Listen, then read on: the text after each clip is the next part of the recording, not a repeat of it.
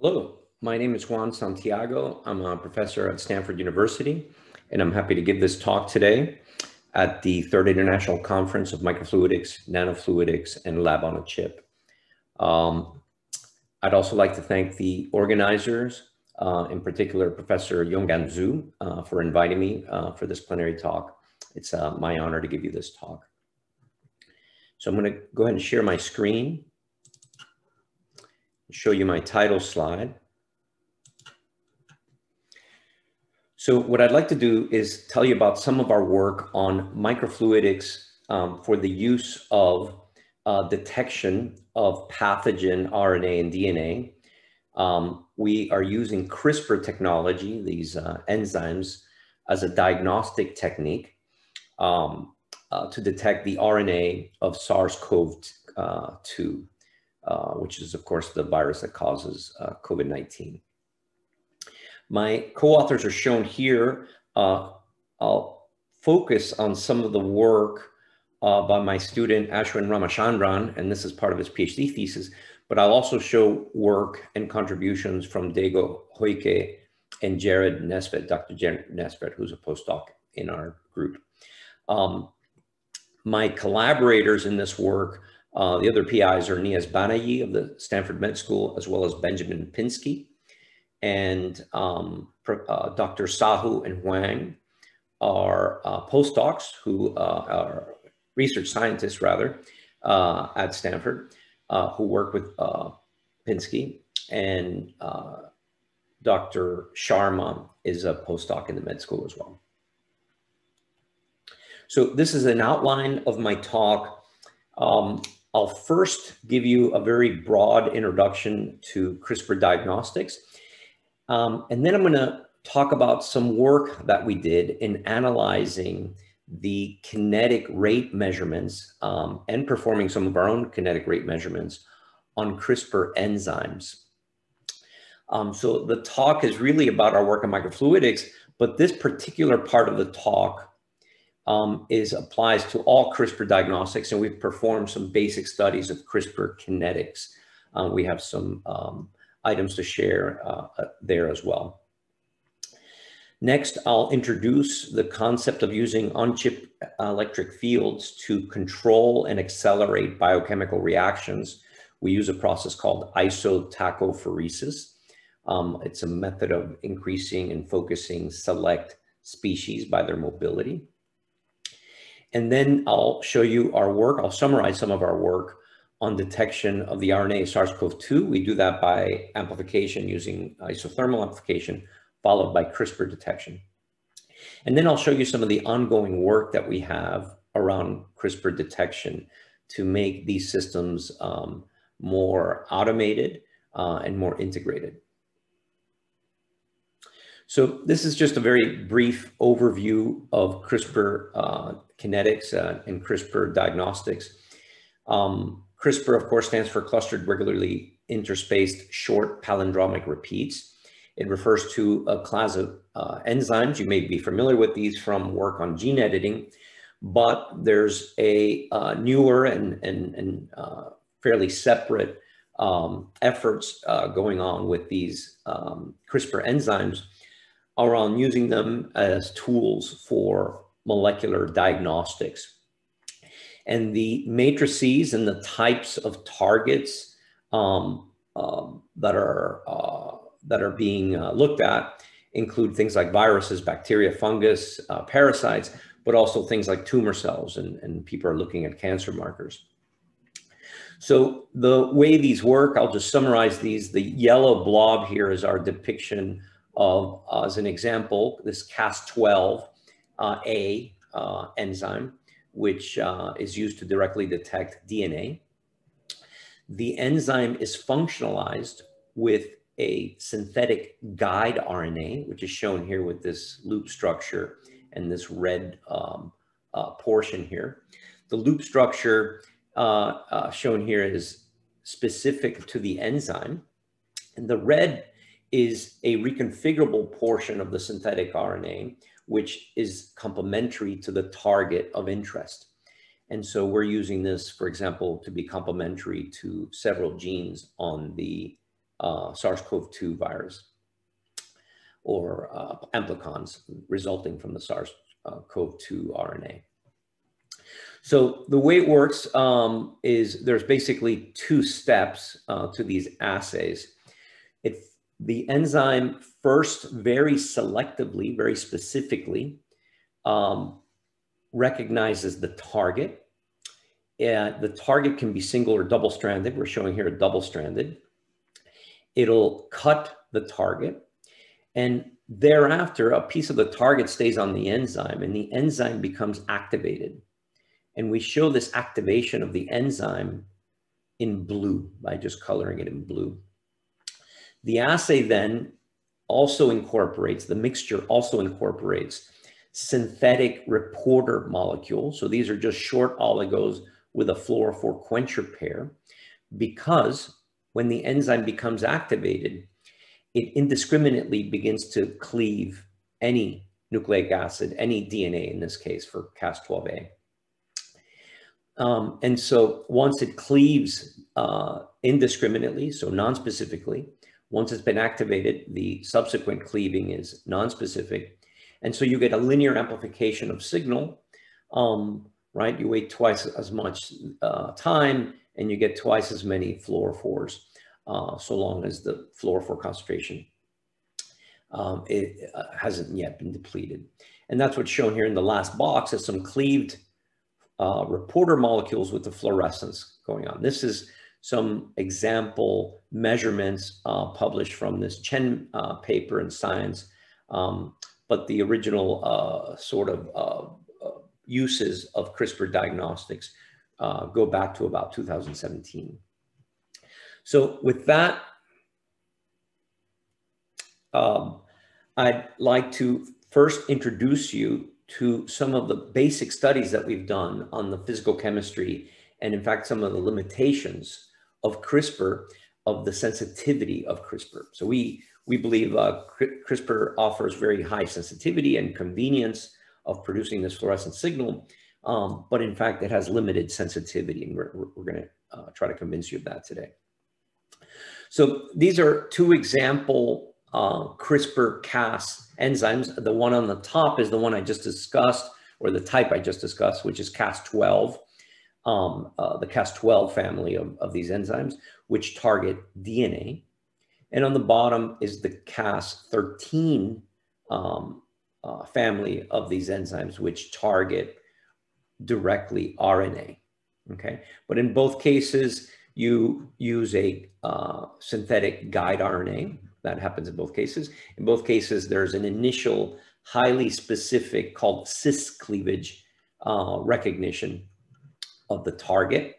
It cuts the target, it becomes activated, and that's what's shown in the box here in this particular slide, is the activated enzyme um, cutting, um, uh, non-specifically cutting reporter molecules to produce fluorescent signals.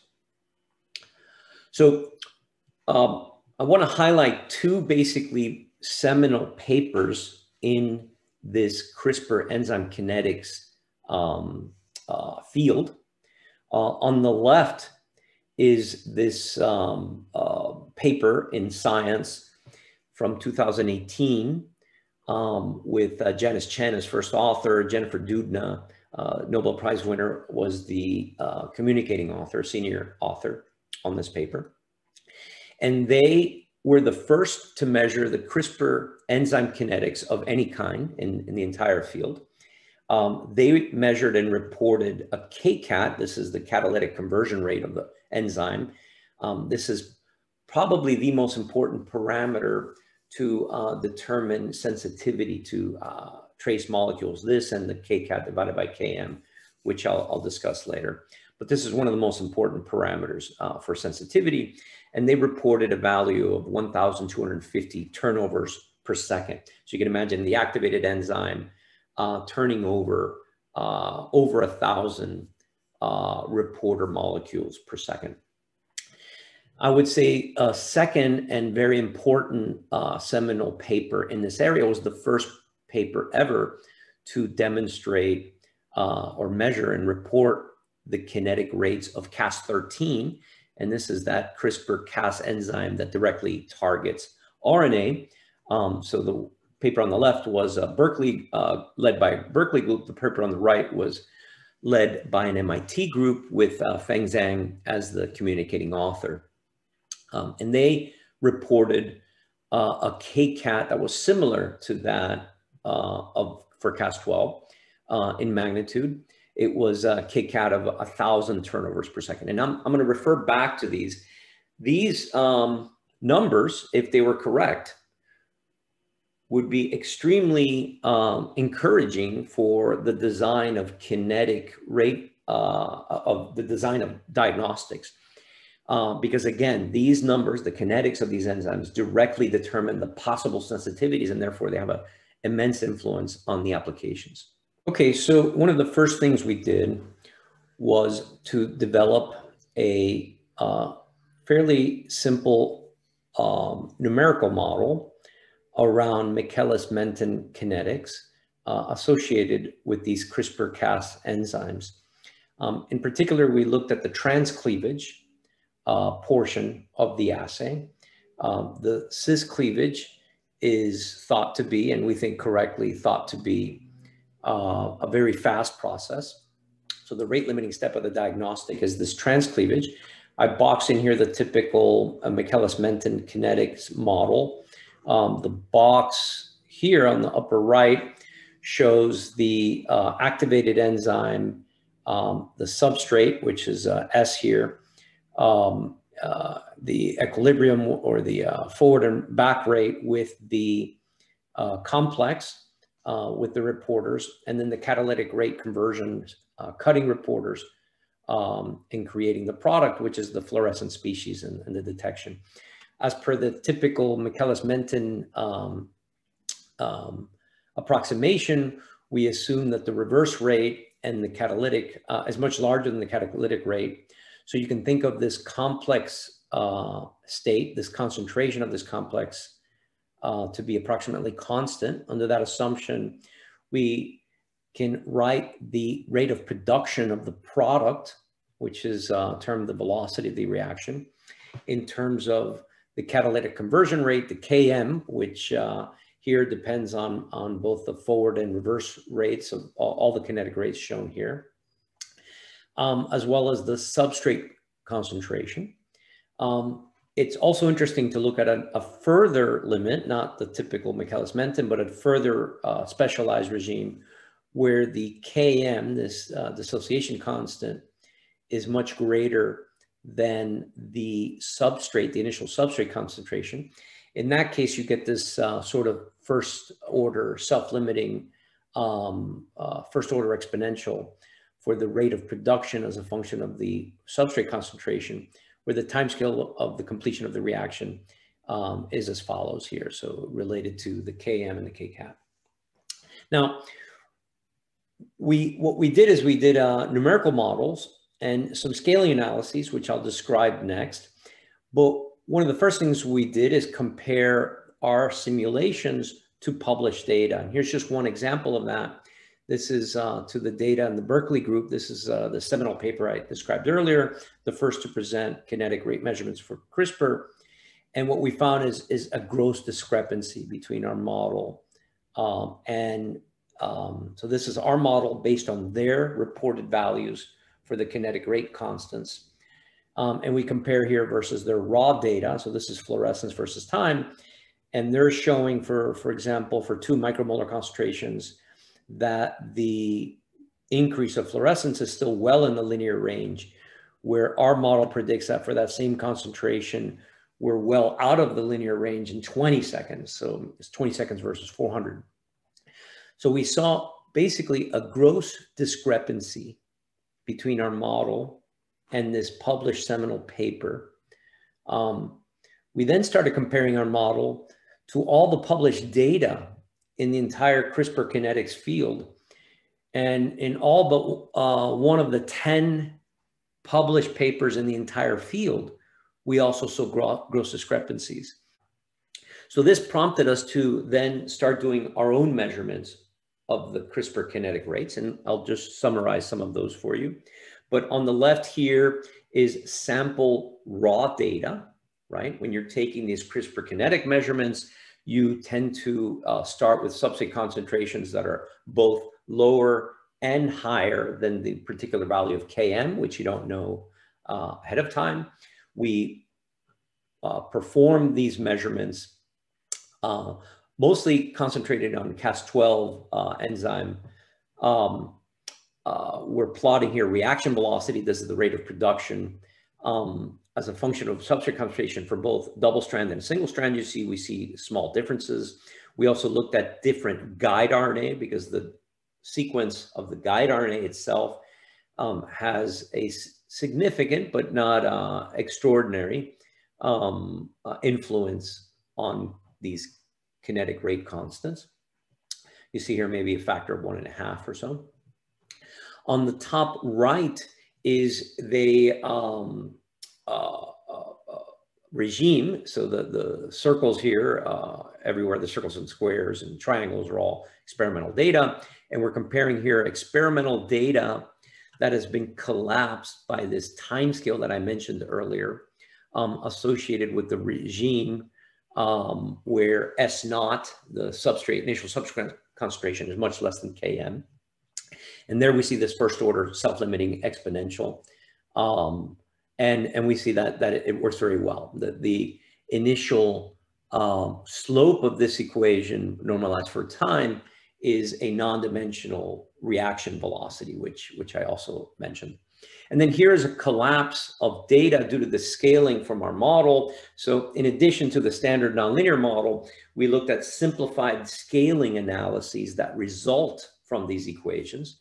And we use the scaling analyses to collapse experiment, our own experimental data across various concentrations and various, um, uh, and two different guide RNA, but also different targets. Here's double-stranded versus single-stranded DNA.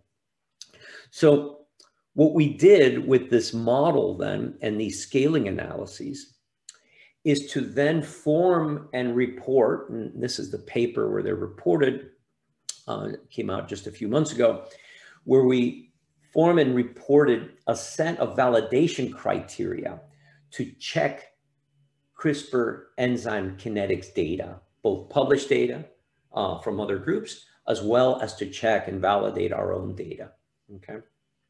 So on, on, the left here, we're showing this classic Cleve reporter concentration versus time, where the initial period is linear. Then on the right, we're showing this initial reporter concentration, and on the y-axis is the velocity of the reaction that in the uh, Michaelis-Menten uh, kinetics, that velocity, if you remember, is equal to k cat E naught S uh, and, and this uh, grouping of the substrate concentration Km. So for example, when the substrate concentration, initial substrate concentration um, is very low, then this velocity scales with kcat cat over km. But when it's very large, um, this tends toward unity and the velocity scales with kcat. And that's, that's what happens here at, at high concentrations.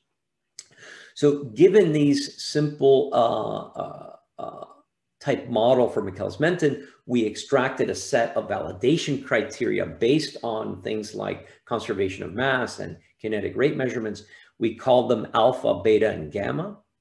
The first one is basically a conservation principle that the amount of substrates you measure can't be more than the amount of substrates you, uh, you put in. Okay, so the amount of cleaved reporters can never exceed the amount of initial reporters that, that are uncleaved and you insert into the reaction chamber. The next is one uh, around the fundamental rates of this velocity. This velocity can never be larger than the value of k cat times E naught. This is a fundamental limitation of the kinetics. And lastly, the time scale associated with this linear portion um, uh, must be limited by this grouping here. Um, and I'll, I'll, refer you to this paper for details, but it's a grouping involving KCAT and KM and that linear timescale. Interestingly, for example, this parameter, you don't need to um, have uh, calibration from the uh, uh, uh, of the fluorescence signal versus the concentration reporter. You just need to be able to uh, look at the graph and, and estimate the, the linear time. So many of these are, are very easy to, to go and compare to uh, um, either your own data or published data. So what we did is we compared or, or, we looked at these validation criteria for all the published kinetic rate measurements, okay?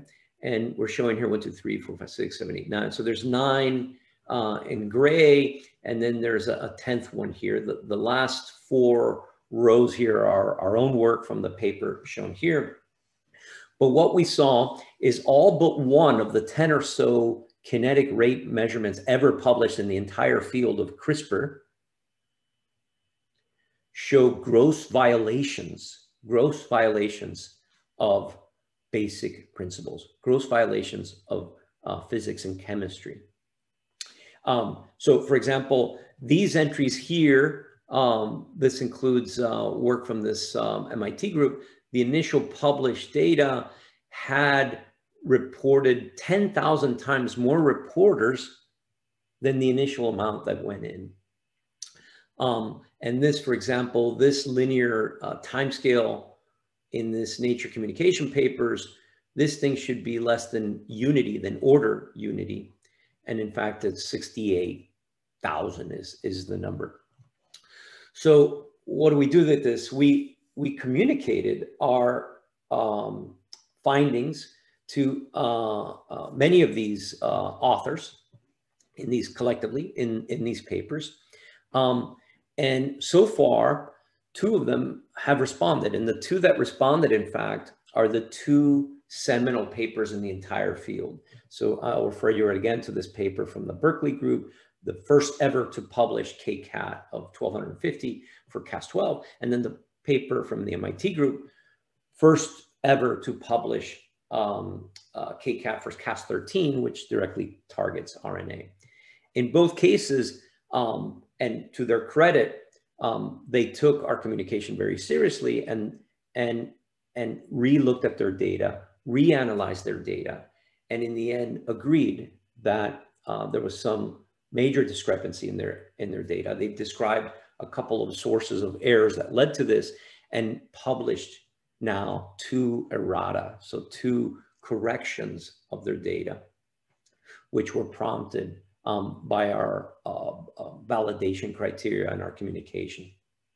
And um, I just highlight here, so here um, uh, they, they thank our uh, lab for pointing out this discrepancy and, and here in the MIT group, uh, this is Berkeley group, and here in the MIT group, they, they uh, call up both my name and Ashwin Ramachandran, today my student, um, uh, uh, and thank us for, and so we very much appreciate their um, uh, acknowledgement. So given this updated estimates of the kinetic rate, as well as our own uh, measurements of the kinetic rate, we started looking at, okay, what's possible to do with CRISPR enzymes? And this is what um, uh, I said at the beginning of my talk, which are their, their sensitivity limits on CRISPR-Cas12, CRISPR, on all CRISPR enzymes rather, all known CRISPR enzymes. The plot on the left is a uh, theoretical plot that we made with our experimentally validated model, where we plot target concentration on the right versus the initial reporter concentration uh, on the x-axis. Sorry, not the right, the, uh, the ordinance here and initial reporter concentration on the x-axis. And then the colors are the fraction of cleaved reporters, right? So ideally you want a significant fraction of the cleaved reporters um, so that you can get sufficient fluorescence signal over the background. And it's important to note that these reporters have significant background. So before any single reporter is cleaved, there's a fluorescence measurement. If you then cleave every one of them, you get an increase of fluorescence of only about a factor of 30, on the order of 30, okay? So the background is very important. That's why you need a, a significant fraction, say 10% or more, uh, we believe, uh, of cleaved reporters. And what we, uh, the contour on the left, to be a conservative, we publish basically the highest value of KCAT KM of the corrected data. So this is the correction by the group in Berkeley. Uh, the correction occurred in 2021, which I showed you. Um, and then we also consider in our estimate here a 60 minute assay, right? A 60 minute assay with no preamplification. What we see is that if the initial target concentration, right, the initial target of the assay is, um, say, less than um, a, a, picomolar, uh, so in, in this range here, you would get very small fractions, say 1% uh, fraction after uh, 60 minutes. And if the range is less than 10 femtomolar, uh, the, the, the, after 60 minutes, the fraction gets even smaller. Now, the minimum reported, or the, the best ever reported, reported sensitivity in the entire field is this paper by Fozouni uh, in Cell, published in 2020. This is, again, a, a Berkeley group. Um, uh, is 80 attomolar, uh, 80 attomolar for a 30 minute assay. So 80 attomolar is below this 100 atom, uh, attomolar level. So it would be down here. So we expect after 60 minutes, uh, you would have extremely low, right? Compared to that strong background, extremely negligible amount of cleaved reporters. Yet they're uh, reported a successful detection in this paper and also uh, corroborate the kinetics of their experiment, they go back to the Chen paper, which is the one shown here. Sorry, not the Chen paper. They go to the Slaymaker paper, the MIT paper, to corroborate the kinetics. But we know now that those were off by a factor of a thousand. So they're sort of corroborating their data, uh, yet it's uh, off by a factor of thousand, which we cannot explain. We believe that for this initial concentration, it would take over 40 days to get something like 0.1% of the cleaved reporters. Okay, lastly, uh, we believe target concentrations um, of order 10,000 copies per microliter or lower are, would be extremely difficult uh, to detect with any detector in any situation in a 60 minute assay for either of these enzymes. Okay, so with that, I'm going to introduce you to uh, I'm going to finish now on talking about basic CRISPR kinetics. And the, the takeaway here is CRISPR is highly specific, but its sensitivity is very limited. And there remains some discrepancies in the, in the, in the literature. So please be careful uh, in interpreting. I think we should all be careful in interpreting these. Next, I, I want to introduce you to this process known as isotachophoresis. We use it to purify, to mix, and pre-concentrate not just nucleic acid, but all kinds of species, including nucleic acid, uh, the target reporters, and enzymes into a, a focus zone. ITP uses a two buffer system. Here I'm showing the leading electrolyte, which for us is typically chloride. And then the trailing electrolyte is the red ions here. It has relatively low um, effective, uh, low magnitude mobility.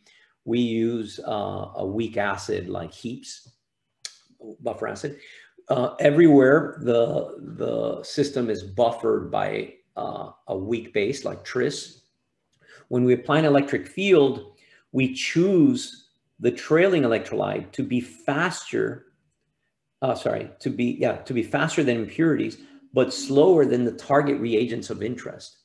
And so we're showing here the target reagents in the different colors of green, and we focus only those. We selectively focus while leaving other things behind. For example, we might selectively focus an enzyme, but leave behind impurities from a nasal swab sample, which is uh, depicted in orange. For our work uh, with CRISPR-Cas, we're in fact focusing CRISPR-Cas12. Um, and so we're focusing all of the species in these two reactions where we have the um, highly specific reaction of the target for, to create activated enzyme, and then the activated enzyme uh, uh, catalytic activity on the reporters. All of these species are focused in here. We know they're focused by over a thousandfold, including the enzyme, in just a couple of minutes. We've in the past shown that we can increase reaction rates by 14,000 fold. That's this paper. And in this more recent paper, we applied it to CRISPR Cas12. We show over 1,000 fold increase of just the enzyme and uh, more for the um, uh, nucleic acids, which have higher mobility and accumulate faster. Okay, and, and we use this to drive, right? We're stuck with these uh, limited kinetic rates, but we increase concentration to drive the chemical reaction. And this is example results from that paper that I mentioned here. This is an experiment where we're switching back and forth from two filter cubes. The red filter cube is showing the, uh, the enzyme and guide RNA complex. The uh, produced signal, the cleaved reporter, has a green um, reporter, and that's shown there. This is the spatial temporal diagram. So all this is experiment on the top half. Uh, it's time versus distance. And here we're switching at each of these horizontal white lines, we're switching between one filter cube and another to show that they're strongly co-located. They're strongly correlated. There's a, a slight shift between them, but there's significant co-location of the enzyme and the reporter showing that this whole reaction vessel in isotachophoresis focusing um, is there. Um, so let me show you about some of the work that we did in using this to detect SARS-CoV-2. So this is the assay that we published in this paper in 2020. Um, the, we take a nasal swab, we use ITP, so it was a, basically a three-step assay. First, first step was five minutes, 20 minutes is the second step. Steps, third step was five minutes. We first posted this assay in May 2020. So uh, after just a few months after the uh, COVID-19 lockdowns. And we demonstrated uh, SARS-CoV-2 RNA from raw nasal swabs.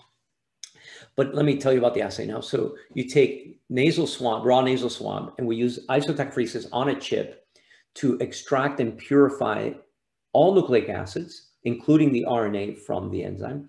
For this initial work, uh, we took a pipette, extracted it, went into a standard tube. So there's a manual step here in this arrow went to this tube where we perform reverse transcription and LAMP, isothermal LAMP amplification.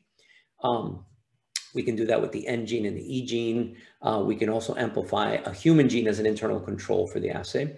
We then took the LAMP amplicons, which is now DNA, went back into the same chip, same chip, uh, and we do isotachophoresis accelerated CRISPR reactions to get a highly specific signal and then do the on-chip fluorescence detection as the ITP zone uh, travels under uh, um, uh, the detection region. And that's what's shown here in the schematic are the first step and the third step. So this is that first ITP step, and then this is the third. Um, we're now working, uh, just to jump ahead to the end of this talk, but we're now working on integrating this whole thing on one chip. But let me tell you about what's possible with this. The first thing that's possible is analysis in 30 minutes, uh, easily 30 to 40 minutes uh, for uh, SARS-CoV-2 uh, samples. These are two movies. On the bottom is a positive, uh, uh, with a white background here, is a positive sample, positive for COVID-19. And on the top is a negative sample, and you can barely see, but on the top is a negative sample. So there's very little background fluorescence, but finite background fluorescence in the ITP zone. And these three example data that we show here are for the P gene, the N gene, and E gene. Um, uh, this P gene is the human uh, internal marker, and then we have the N gene and the E gene for the virus versus the negative controls, which are much lower here and, and stay low. So just to show that this ITP works, we also took data, this is all experimental data again, showing uh, the strong linear type increase expected from the CRISPR kinetics, this is the CRISPR component. This is data with calibration before and after ITP, all done on a chip to show that we're pre-concentrating this enzyme by at least a thousandfold, by at least a thousandfold um, in the ITP zone. So all of these different species are being focused in the ITP zone. Okay. Um, lastly, I'll, I'll, show, this is data from raw nasal swabs, just like it is in the, in the square here. Here's more positive and negative control examples. But again, this is starting from a raw nasal swab from a patient, uh, ITP for purification, then LAMP, um, then lastly, ITP for CRISPR kinetics um, diagnostics. I'll just summarize this work uh, with these data. Uh, on the left is data from 32 patients which showed positive for COVID um, 19 using the WHO uh, real-time PCR test. And on the right is 32 healthy donors um, who showed negative for coronaviruses as well as flu.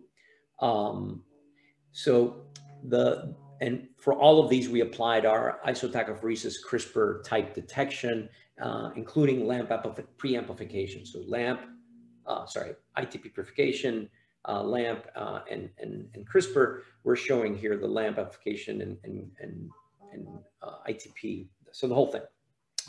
Uh, on the left, on the left is um, the 32 patients uh, with COVID, we are able to detect successfully in all of them, except two, which for which we got false negatives.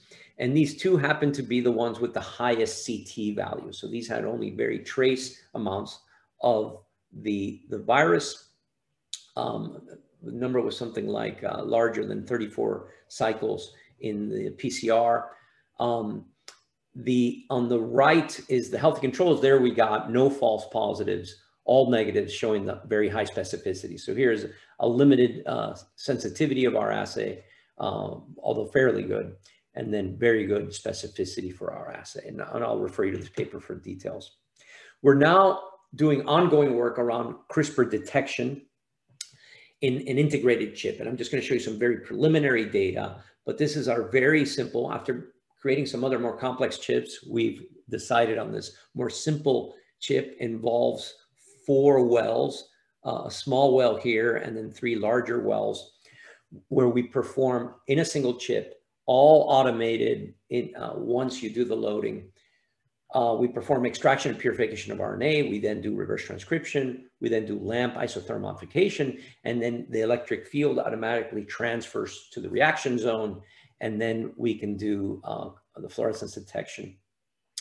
Uh, we, of course, use LAMP for the sensitivity and CRISPR for the specificity. And here are the various portions of the assay. We have the, the raw uh, sample uh, loaded in this region. We then uh, extract and purify the nucleic acid and simultaneously do LAMP.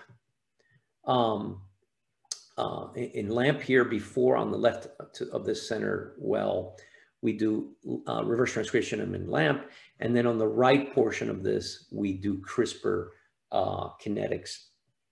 And for now, uh, it's around 45 minute assay. So this is unpublished work. And let me show you just some very preliminary work.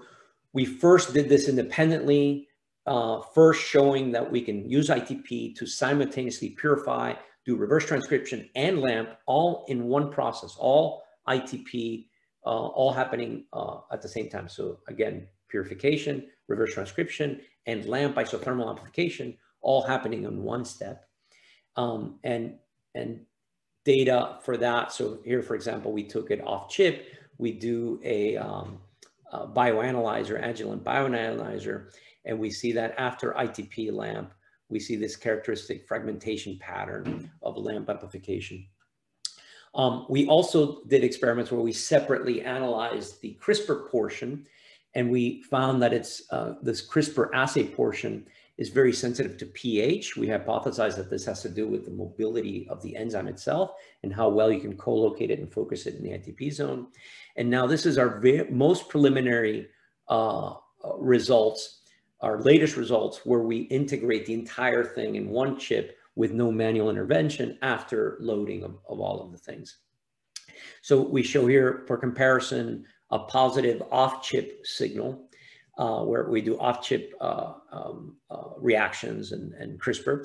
And then the rest of them are all on-chip. And we're showing here the negative control and then the very sensitive temperature dependence because there's a, a little bit of joule heating associated with these uh, channels. So with that, I'd like to summarize. We've presented and published a set of validation criteria and discovered some astounding uh, discrepancies in the literature. So we encourage you to uh, be careful in how you read this literature.